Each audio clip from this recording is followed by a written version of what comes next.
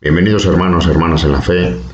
Vamos a rezar una promesa, una promesa a Dios, a nuestro Señor Jesucristo, de vivir rectamente en el camino que nos enseña Dios, nuestro Señor Jesucristo, para llegar al reino de los cielos, que es el Salmo 101 de David.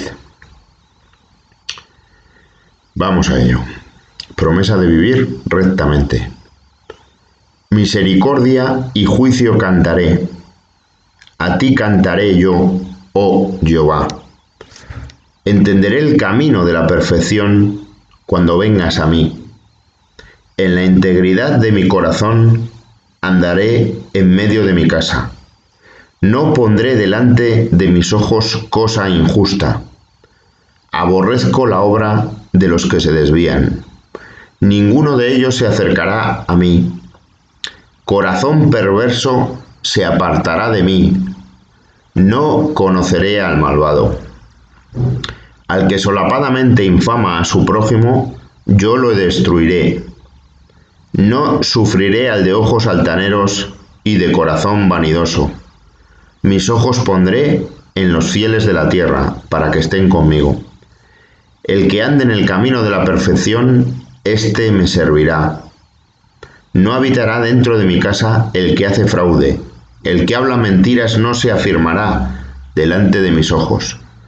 De mañana destruiré a todos los impíos de la tierra, para exterminar de la ciudad de Jehová a todos los que hagan iniquidad.